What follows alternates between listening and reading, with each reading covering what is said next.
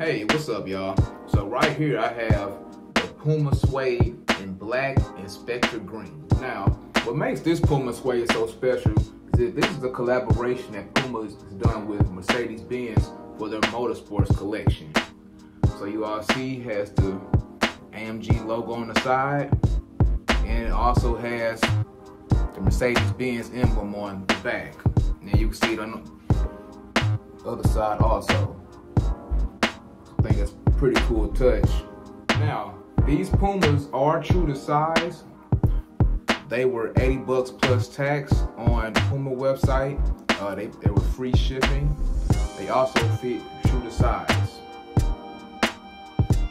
Now, lastly, these do not come with the fat laces that you're probably used to on the Puma suedes. They do not come with the fat laces. Now, while this Puma suede is a dope shoe, one thing I do not like about Puma suedes particularly with black pumas, a lot of times, I guess because they're suede, they tend to have that sort of ashy appearance where it almost after a while when they fade, they almost start to look sort of grayish.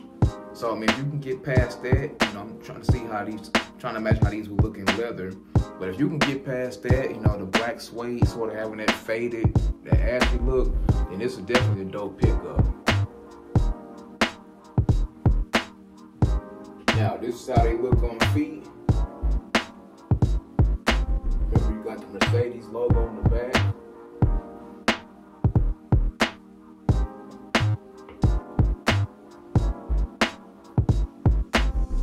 Like these kind of videos, don't forget to hit the like button, subscribe for more videos from the WillWardrobe channel.